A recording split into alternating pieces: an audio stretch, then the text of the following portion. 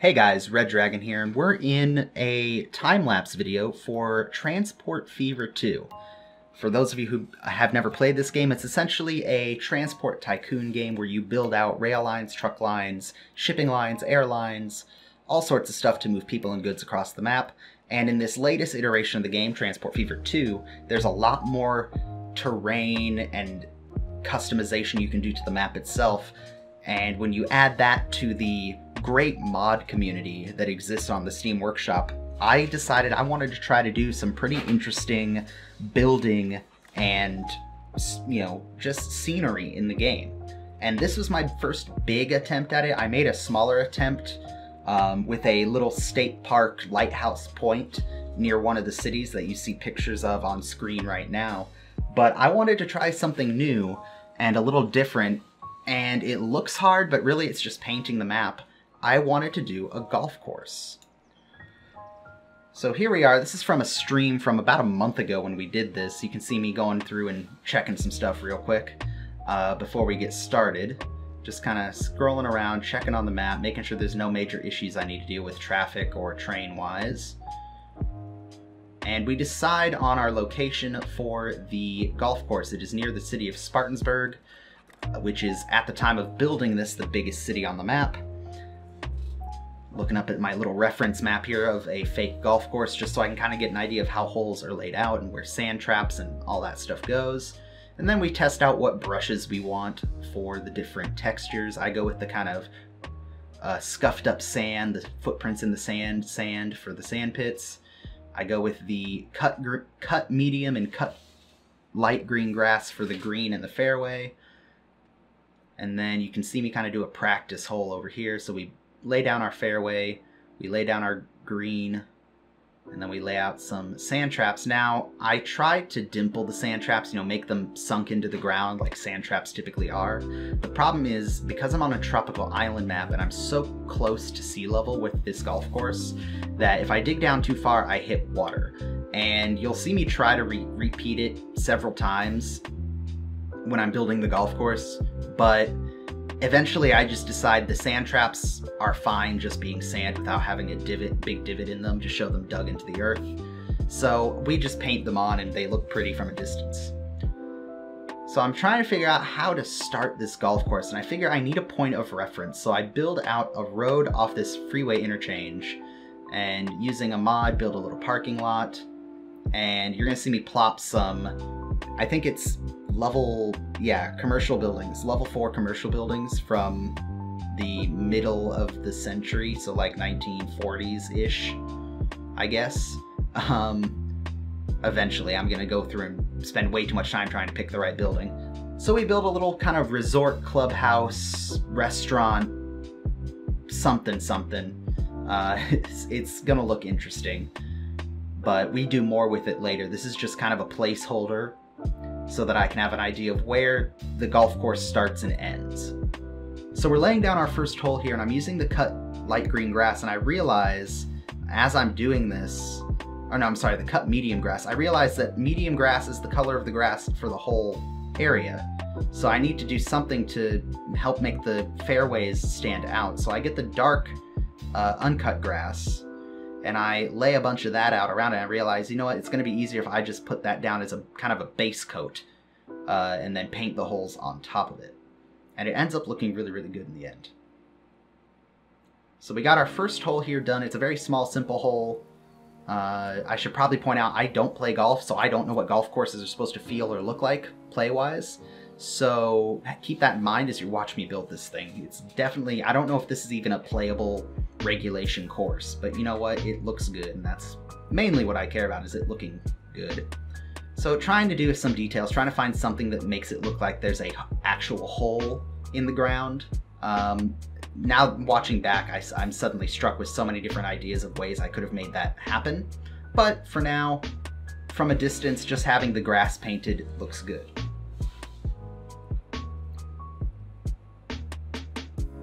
So we lay in hole number two, and I suddenly realized I should probably map out where the holes go um, before I just start painting them in so that I know that by the time I get to the end, I have 18 holes.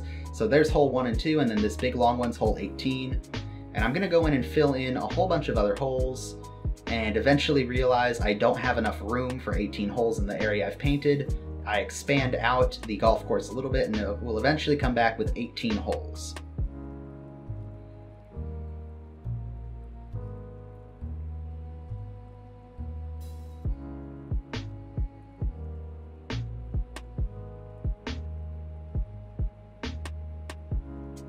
All right, here we are with the rough layout of the course finished. Uh, I was able to squeeze 18 holes. I had to expand the initial footprint of the course a little bit, but it's all well and good. We're gonna start filling these in with the light green grass for our fairway, and then we can get to the detail work. And you can see I kind of marked in where I plan to have a water feature. I think that's hole nine of the course. I wanted there to be one hole where you had to actually drive your golf ball across a water feature. So that actually ends up looking really, really nice. Uh, you can see up here is where I extend the course up toward this, uh, into this valley where this refinery is.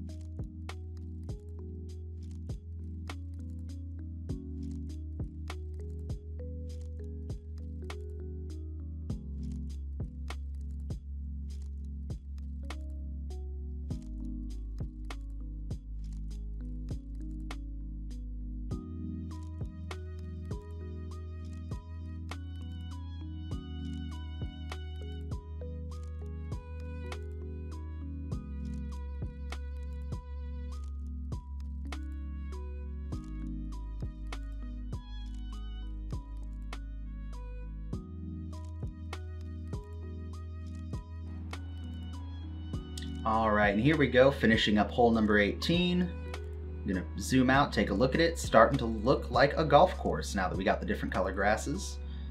So I go in, starting with hole number two here, and start painting in the detail. Now, uh, you can see I'm using the light green cut grass for the green, uh, the medium green cut grass for the fairway, and I decided that I wanted the tee to be distinguished so you can kind of tell what order the course is played in based on where the tees are. Kind of you go from this spot to this spot to this spot.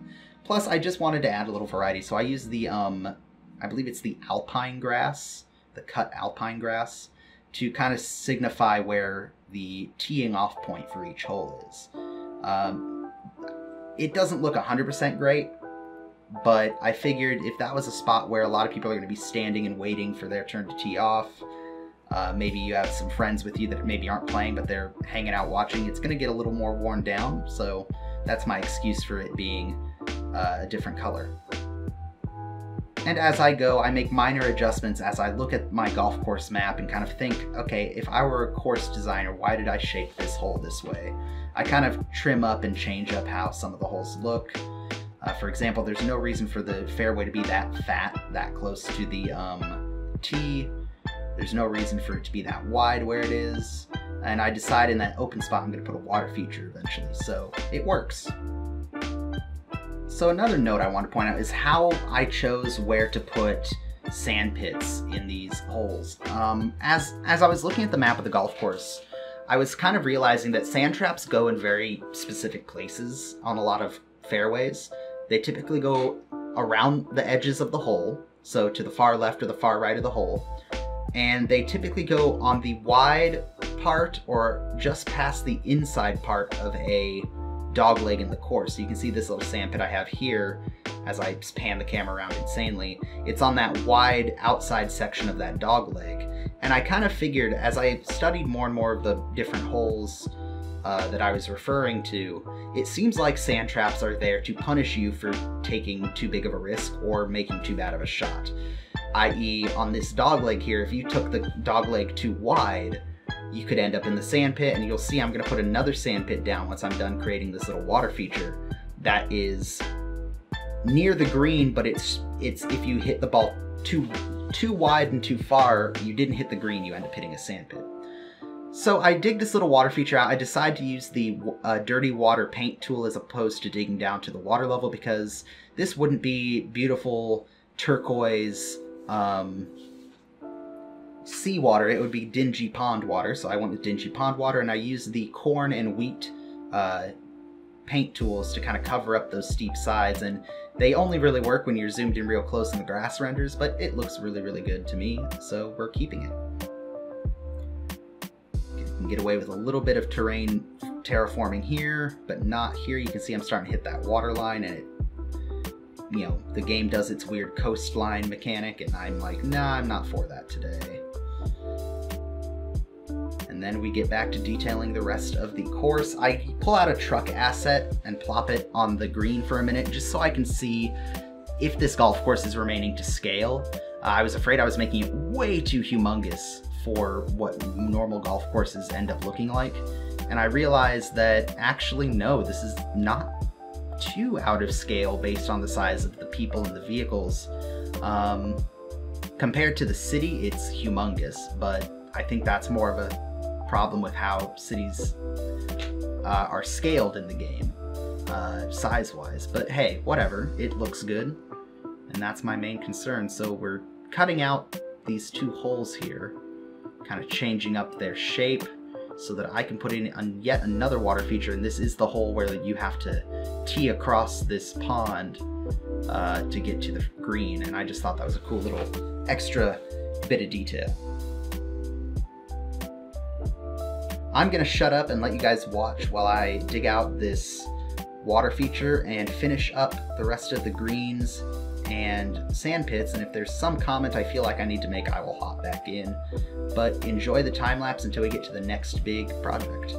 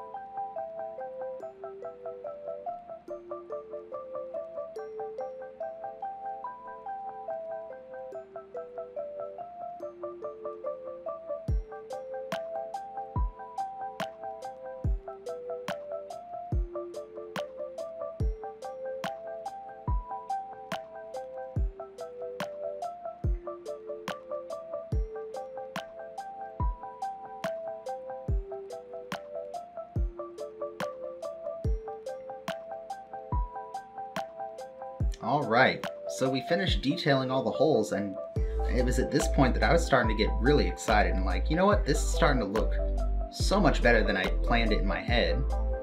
Uh, as you saw, we kind of trimmed up some of the holes, we added some space for trees around some of the holes, we broke up where the green isn't right next to the water features, we kind of added some roughage between on some of the holes. And we're going to add one more uh, pond here between holes, I believe this is hole 16 and 17. So we kind of throw in some of those reeds and corn and wheat uh, to help cover up any imperfections. And then we start adding trees. And I made sure to leave a lot of um, open green space for the trees and also uh, decided I wanted to make some golf cart paths around the resort so that we could actually set up a little truck line. And it was right about this time that we got the little local delivery trucks that look like little grounds maintenance vehicles. And I can't remember which ones they are. You'll see them on the stream here in a little bit. But I decided, you know what, we're going to set up a line where two or three of those are driving around. Uh, since they don't have a golf cart, obviously, we'll use that and kind of make believe they're the golf course maintenance guys going around checking on stuff. Also, it gives us the opportunity to hop into the first person view and take a look at the golf course from eye level. So I decided to stop putting in trees and put in the roads before I put in the trees, which ended up being not a bad idea. Uh, and I just kind of laid the roads out how I thought people would, what would be most convenient for people in golf carts to get at least, if not directly to the tee for each hole, at least be able to drive around the course in the order that you would play. So you can see we go up, up to holes three, four, five, and then back down for six, seven, and eight. And then we make a perimeter road that goes around. We decide we're not gonna cut the road too close to that freeway off ramp. And then we end up back at hole 18 and spit out into the parking lot. And then we're going to create some connecting roads in between, again, so that the players can drive uh, within reasonable walking distance of each tee. So our golf course is going to get broken up a little bit by these roads, but it actually, once the trees are in and a couple other details are in, it actually looks really, really nice.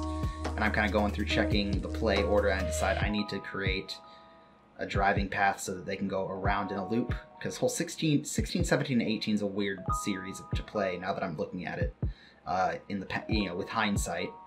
But we start painting in trees, and this is a tropical map, so it's kind of weird personally for me for where I live to see a bunch of palm trees around a golf course. But I guess if you're on a tropical island or maybe Hawaii or down in Florida, this is absolutely what golf courses look like. So I guess it isn't that weird. And now that trees are starting to get on there, I am I was so happy. Like I was telling chat uh, on the Twitch stream that this this is probably up to this point one of my favorite projects I'd ever done in a game like this, whether it be City Skylines or Transport Fever, or Sim City. This is one of my favorite little scenery, just nonsense projects. It doesn't make me money, it doesn't do anything except look pretty, and I am so happy about it. I get distracted by a bit donation and then get back to work and it's coming together.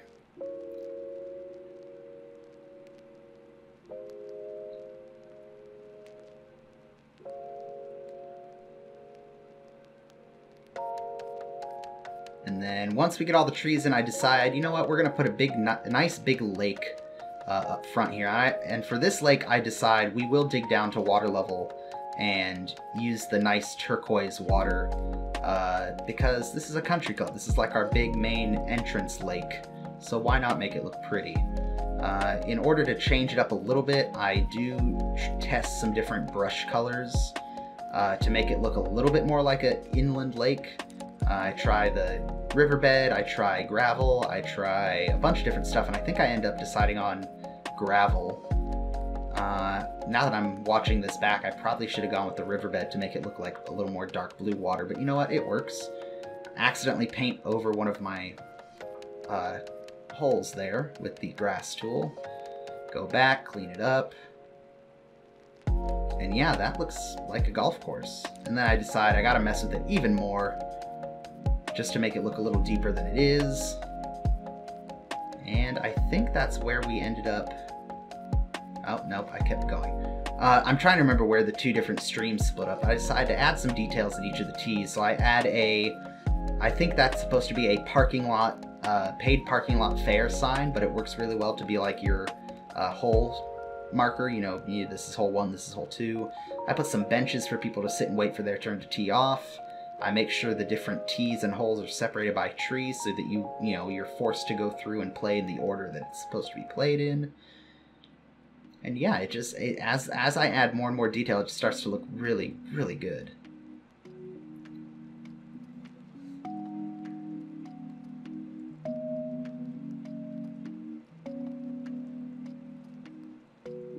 Alright, so we got all those details on all the holes, and now I'm setting up kind of a test for the ground maintenance vehicle path. And I'm deciding, I'm putting a little, uh, I have this mod that has road signs, and I'm using the kind of, I don't know if you can see which ones I'm clicking on down there, but they're the, the road sign that says, look, there's a stop, or there's a parking area, or there's a turnoff to the left or to the right. And I'm using that to indicate where each hole is and then I get a couple of these uh, little maintenance vehicles and I set them up on this line and I have them driving around in the order that one would play on the course. So obviously numerical order of the holes. And I realized I should probably have uh, named the waypoints the different holes just so, you know, just so it makes sense and I'm happy. But yeah, we put those vehicles on the line, make sure the line's all set up, uh, I realized that the line's actually not going to work because it needs two stations, not one station and a bunch of signals. So I fixed that just, just so the line will work. And I just realized that the other reason I'm getting a warning at the top of the screen is because those are delivery vehicles, not passenger vehicles. So I was using the wrong stations, change out the stations, and now I try to get in a plane and get some screenshots. But we will jump forward to the next day's work on the golf course. Alright, here we are on the second stream of the golf course, and I decide we need to start adding those little extra details to really make this thing kind of belong on the map. And I decide the first thing we're going to do is add a very snobby uh, wrought iron and brick uh, fence around the course. Uh, especially on the front part where it looks, where you know it's visible to the public. And as we get back here toward this refinery, we switch to a not a keep out government secret chain link fence, but kind of a hog wire like, hey, you're now on property that isn't public fence, if that makes sense. Uh, I kind of expand the fence up the hillside there so we can build something there a little later. Accidentally delete a field that I didn't want to delete, but you know what? I decide, screw it, we're going to keep building fence here. And we accidentally delete another field I didn't want to delete, but hey, what happens happens and we finish our fence up, keeping it in line with the road as much as possible. And before you know it, boom, high class country club in the mountains.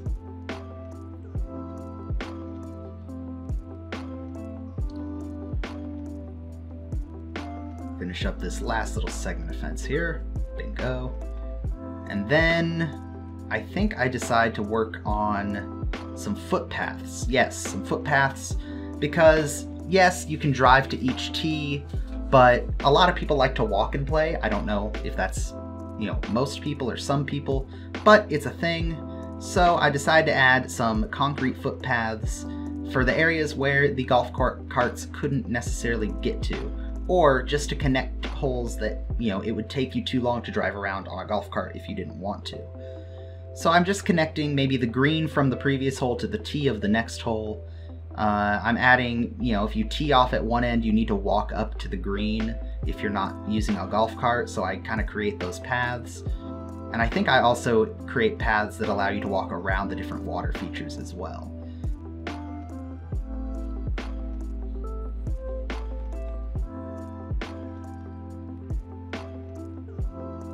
And again, I try to put a bridge in here and it doesn't work, unfortunately, without looking ridiculous. Um, but anyway, essentially my, my thought process for most of this build was what would, what would make most sense and look the most pleasing to the eye? You know, why why does the path go this way? Well, because you need to get from here to here for this reason. It's they're not they're not just randomly placed. There is some some amount of logical thought put into it, even though it may not look like it at times.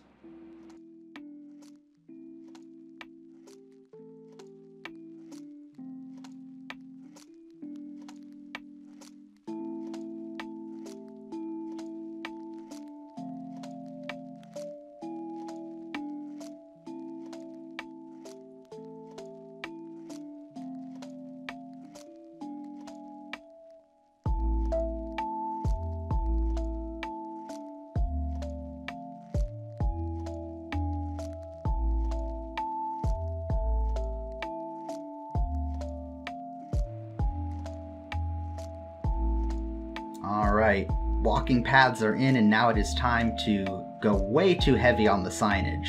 Um, I did go a little heavy-handed on the signage just because I figured that it would be nice to, whether it be, you know, if I was streaming this game and needed to leave for a little bit, I could put this as the be, be right back screen of, you know, the little maintenance carts driving around, but I do go a little overboard with the signage. I'm putting, you know, yield signs uh, wherever pedestrian paths cross the road from one side to the other. I'm putting stop signs at all the three-way stops. I'm putting, you know, your hole is here markers.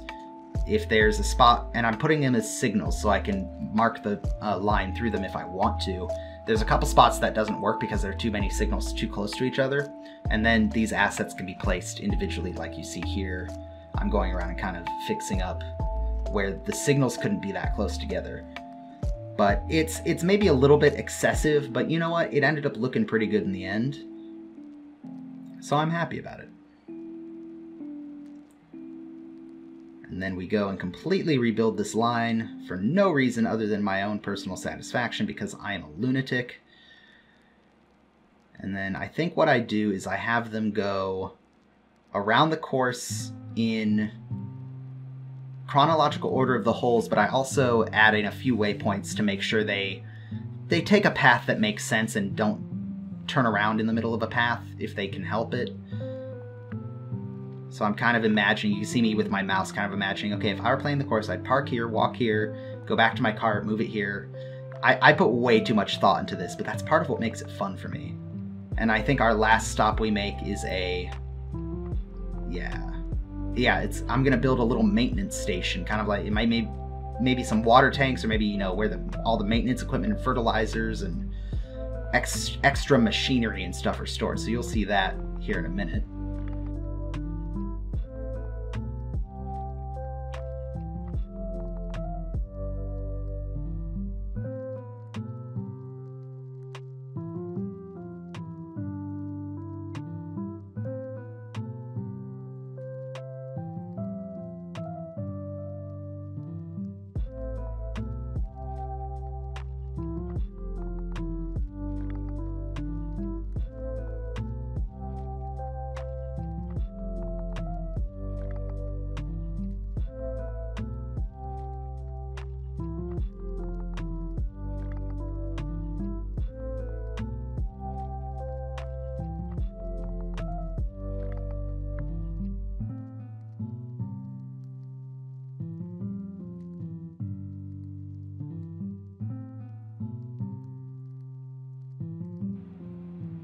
All right, now here is a part that was interesting. I tried to make a swimming pool for this resort. And long story short, I'm gonna look for a mod for a swimming pool because I know it exists, I've seen it. But yeah, this just did not work out well. And no matter what I tried, I, smoothing it, even repainting the surface, it just did not look right. It did not look like a swimming pool. It looked like a crappy pond, if I'm being honest. So I decide to scratch that. Well, not really. I tried to do a pool deck with the thing, but it, yeah, it just doesn't work. And I spend way too much time trying time trying to make it work. But then I decide, you know what? Let's just let's just put some detail around the um, resort, so it's not just sitting on a grass field. So we lay down some of this uh, hexagonal cobblestone. Looks really nice. I think I decided to put some assets, yeah, some hedges around the side. It actually ends up looking really nice. And then, I'm, I'm sorry that I'm like hesitating. I'm trying to remember what it is I did because this was done so long ago. And I'm annoyed that I didn't record the, or, you know, make this video sooner.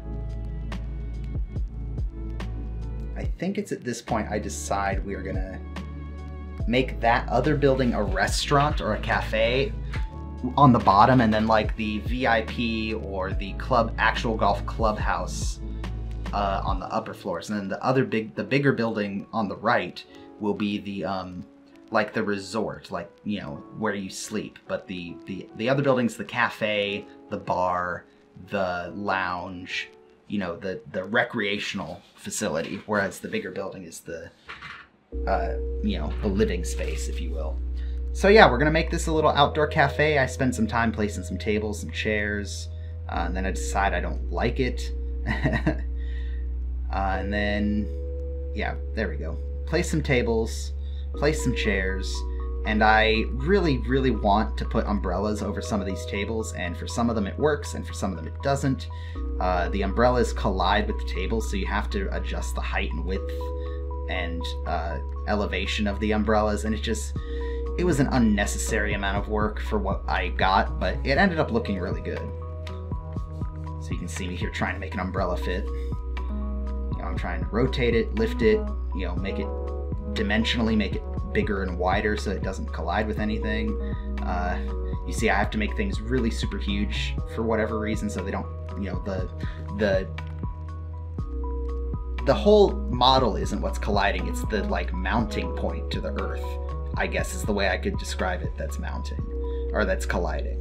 So you know, I try and try and try to get an umbrella that looks dimensionally correct, but also looks you know looks like it belongs but doesn't collide and i end up with those two umbrellas and then i try to do it for the smaller tables and i just eventually give up because i can't make it look like those umbrellas belong so i go to placing so many chairs and i try you can't really see because it's sped up but i try to make it so that the chairs aren't perfectly symmetrical or perfectly square with the table at all times you know nothing in this world is quite that perfect I would place some extra chairs along the back wall here because why not? A couple extra tables. And then I imagine that one door is entering the restaurant or entering the cafe and the other door is out to the veranda or the seating area, whatever you call it. So yeah, we put up this nice kind of picket fence and then I decide let's try to do some planters with some trees. But then again, the collision fat thing comes and bites me in the butt, and I know there's mods that you can place trees without them colliding, I think. But at the time, I didn't have them, so we go back and try to do it a different way. As you place trees closer together, they kind of turn the ground to dirt. So I kind of use that to my advantage. We're to paint in some dirt under these trees, and it kind of takes me a minute to get the cobblestone to change because it's it's not like a true paint tool. You kind of have to play around with it a little bit to get exactly what you want it to look like. But yeah, it looks pretty dang good once it's all said and done. Uh, we put the little open sign out, uh, put a guy that looks a little bit like a like waiters, and then we go and place a whole lot of people just to give life to the scene, you know. And then I find this little guy, that little green shirted guy with the yellow ascot, and there's there's some projects we're going to use him for in the future.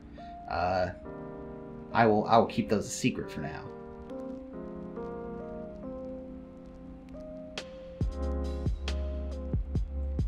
So yeah, placing some people, uh, placing some of those green shirted guys. Again, if you get the if you were there and you get the joke, you get the joke. If not, you know, such is life. It'll be explained later. Uh, kind of varied up. Sometimes it's a big group of people. Sometimes it's I think I did one or two people just sitting on their own enjoying their meal or their coffee or whatever. Uh, plopped a couple people on the golf course just for fun, and I think that's where I wrapped it up. I, I don't think I added anything else. Um, and I think that's where the golf course still is. I don't think I did any other work. Oh, nope, I'm lying. I did the, um, the maintenance facility. Alright, so now we're going to do this little maintenance facility. It's nothing special. I just want something something that shows that look it's a country club but you still got to take care of the things you got to take care of so we build some of these uh, silos or i guess they're not silos they're um, water tanks or fuel tanks just kind of imagining that maybe it's fertilizer and water or you know just something i don't know i don't know exactly what i'm doing i'm just trying to make something that looks pretty you know pretty good for a kind of a golf course maintenance area. I'm not trying to overdo anything here. I said the guy who spent three and a half hours building a golf course. I know. So yeah, we make a little concrete path. I think I eventually plop some of the maintenance vehicles there. We have a little, you know, a little guard shack with a uh, barricade so that if the country club's closed or it's after hours, we can close it. And I think that is actually where I left it for this video. other than just messing around with props. Anyway, so yeah, that's the golf course. It ended up looking so much better than I thought it was going to be initially. And I'm super proud of the way it turned out, and it got me thinking about other projects I wanted to do. And actually, we're in the middle of building uh, a power, a nuclear power plant right now. And based on some of the assets I was able to get a hold of on the Steam Workshop, and some of the in-game assets that are now ploppable because of uh, some workshop mods, I decided that I had the assets to try to build a a facsimile, if you will, a artist's rendition of the Chernobyl nuclear power station. So I will post the time lapse for that here in the next couple days as well. But let me know what you think. What do you think of the golf course? Do you think I, you know, it looks good? Do you think it's ridiculous? Do you think that I'm insane for spending that amount of time on anything uh, in this game? But hey, let me know what you think. I'm curious to know. Um, there's definitely going to be more stuff like this coming. I really enjoy Transport Fever, and I've got a really interesting idea for a series I want to do that kind of bounces between Twitch and YouTube, uh, where we build on a megalomania, megalomaniac map.